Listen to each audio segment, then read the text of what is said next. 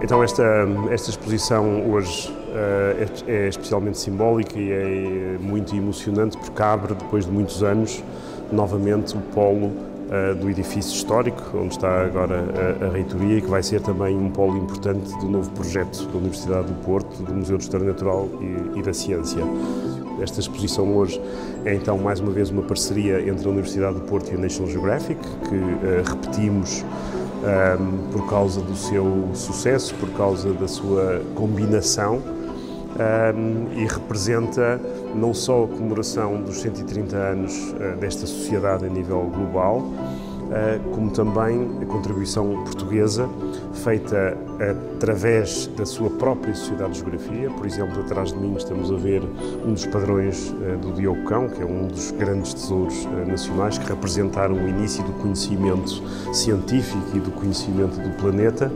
como também muitas das peças que são originárias do nosso conhecimento dentro da Universidade do Porto e que representam momentos muito importantes uh, da nossa história. E essas peças vão começar a ser finalmente devolvidas às pessoas, devolvidas ao público, devolvidas à sociedade e essa é uma missão fundamental da Universidade do Porto e, portanto, para mim é um prazer enorme poder estar uh, a abrir esta exposição hoje. being able to work on stories uh, with, with a lot of resources and really working in depth on long-term stories, which is very hard nowadays for many, uh, for, for most uh, magazines in the world. It's really it's getting harder and harder. So it's it's feel like a huge privilege to be able to, uh, when I have ideas, uh, uh, pursue them and not just stay shallow. You know, really go in depth on my stories. I have a pictures upstairs um, that I shot in Pakistan three four years ago on a story about self-sufficient uh, communities and the way um, how they feed themselves. Uh, so I went all around the world in various, in like six or seven different, very different environment, looking for people that did not rely on market food, that were not buying any food,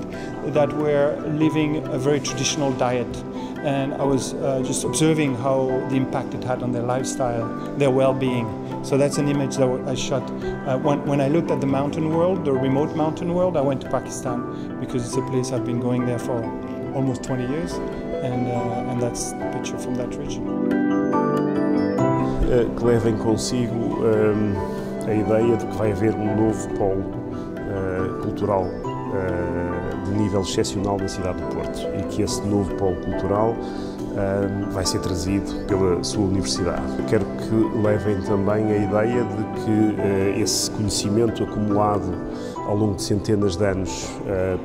pelas instituições e pelas pessoas que precederam a criação da própria universidade há mais de 100 anos e depois, durante os cento e poucos anos que já leva a universidade, vai passar a ser mostrado eh, quer sob a forma de exposições permanentes, quer eh, sob a forma de exposições eh, temporárias. Portanto, vamos passar a ter um programa cultural, científico e pedagógico fortíssimo na cidade, juntando este polo com o Jardim Botânico e a Galeria da Biodiversidade na Casa Anderson. E, finalmente, porque estamos a falar de geografia, de geografia do planeta, do nosso conhecimento do planeta, dizer que não pode haver exposição tão atual como esta, numa altura em que falamos de alterações climáticas, numa altura que falamos de sustentabilidade, numa altura que falamos de conservação da biodiversidade e conservação de espécies que desaparecem a um ritmo assustador e que põem em causa a própria existência da espécie humana, essa é a terceira mensagem, uma mensagem muito, muito fundamental.